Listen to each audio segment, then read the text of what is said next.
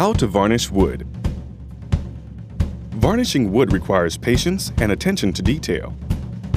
Follow these steps to get a beautiful, long-lasting finish.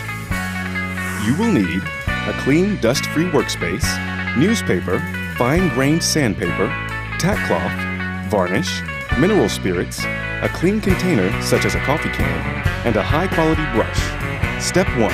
If you're inside, make sure your workspace is well ventilated and free of dust. Lay down newspaper to protect the floors. If working outdoors, choose a spot where wind will not blow dust and debris onto your freshly varnished surface. Step 2. Give the wood a light sanding with very fine grained sandpaper.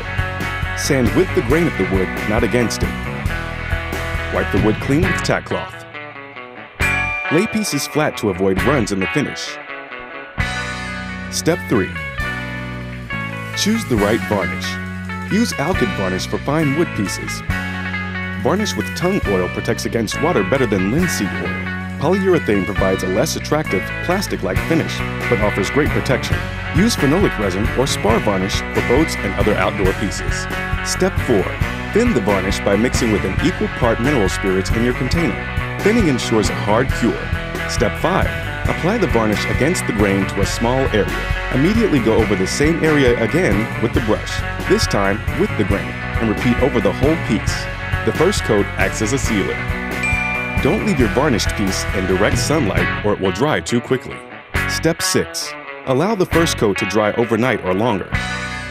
Then, sand the piece again with very fine sandpaper. Wipe off the dust with tack cloth. Step 7. Pour the varnish into your container. Do not thin the varnish. Apply the varnish with the grain. For best results, apply varnish in thin, even coats. Step 8. Add more coats as needed, sanding lightly before each application. If applied properly, varnish will provide a beautiful and durable finish for many years. Did you know? Varnish found on 2,500 year old Egyptian mummy cases still looks good today.